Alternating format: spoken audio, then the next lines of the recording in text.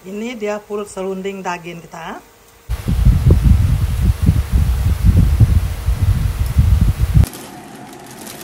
Sebelum kita rendam beras ini, kita cuci cuci dulu ya.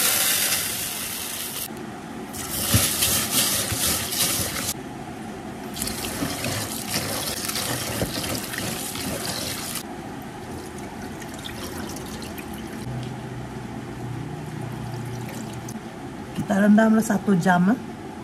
Selamat datang ke Elisen Blog.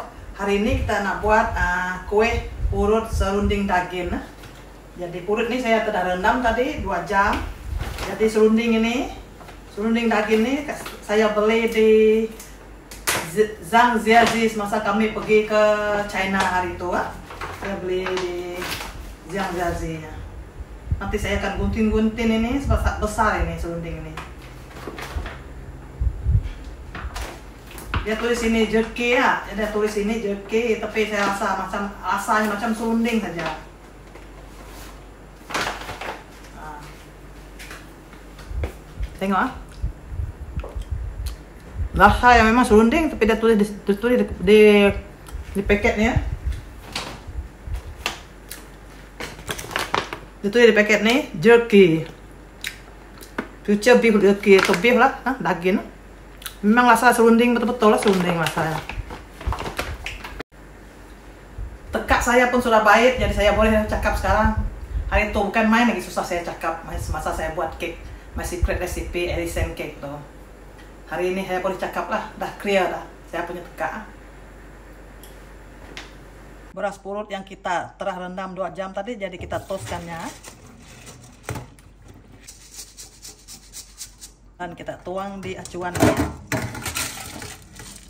kita tuangkan serbuk santan kita masukkan sedikit garam masukkan sedikit air. Dan kita gaulkan santan nih tadi ya. Santan dengan beras purut nih dengan garam nih sekali ya.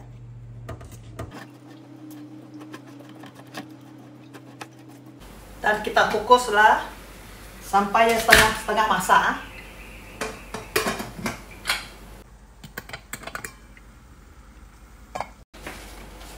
daun lilit nih pakai kita barut purut nanti ya. Jadi kita tuanglah jangan tuang banyak tuang sedikit aja jerky atau tapi ditulis di ini tulis di di bukusan ini beef jerky tapi saya rasa macam rendang. Eh bukan rendang macam serunding. Rasa macam serunding Pak. uh pucut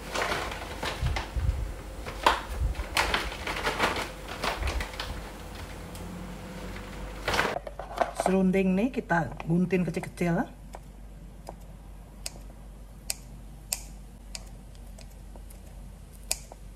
Potongan nih terlalu besar. Potongan nih terlalu besar jadi kita gunting kecil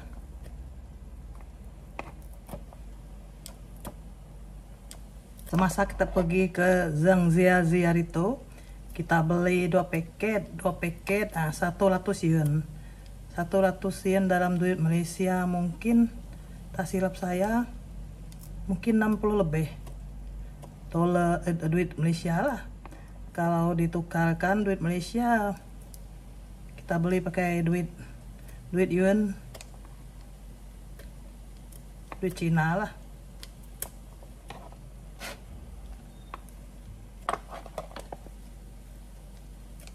Nasib kita dapat bawa balik ke Malaysia ada kawan kami yang sama-sama pergi dari Singapura, Cina dari Singapura. Dia beli itit, itit dalam paket juga lah. Sudah masak juga itit tuh. Kena tahan di immigration, tak dapat bawa balik. Itit tuh, nasib juga. Saya nih dapat bawa balik. Siapa tuh tahu kenapa itit tak bawa tak boleh bawa balik, sedangkan itit udah, udah masak.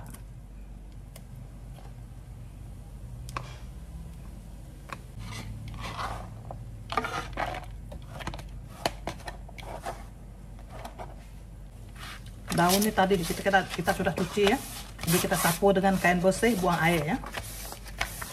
Pun dikukus setengah masak ah.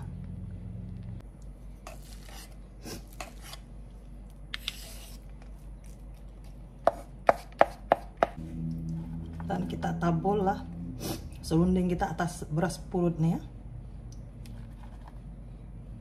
Dan kita lipat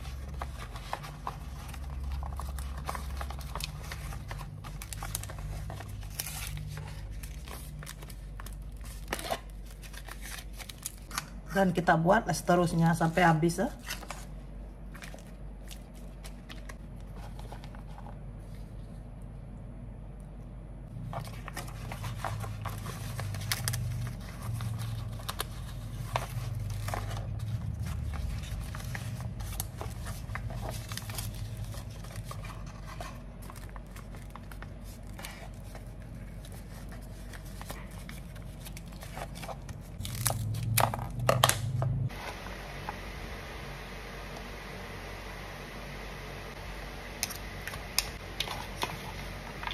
Beras purut kita main agak-agak aja.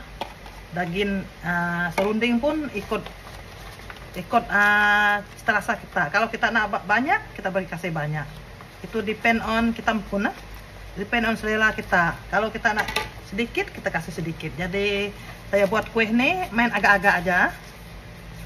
Beras purut pun tak banyak juga tadi. Pun kita main agak-agak aja tetap menjadi ya sebab uh, beras pulut janji kita uh, rendam dan uh, kita kasih sedikit uh, santan dan uh, garam dan kukus. Uh, macam tu aja lah tak susah sangat. Nih pun siap dibungkus ah. Urut serundi kita pun sudah masak jadi kita angkatlah panaskan api ya.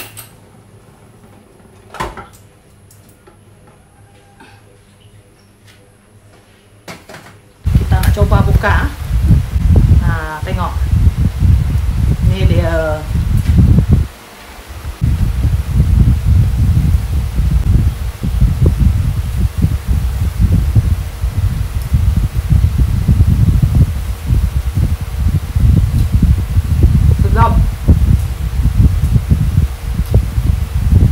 sesuai untuk petang yang pagi makan tengah hari itu sesuai juga.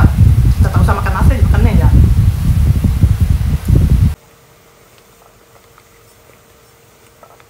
Ini dia purut serunding daging kita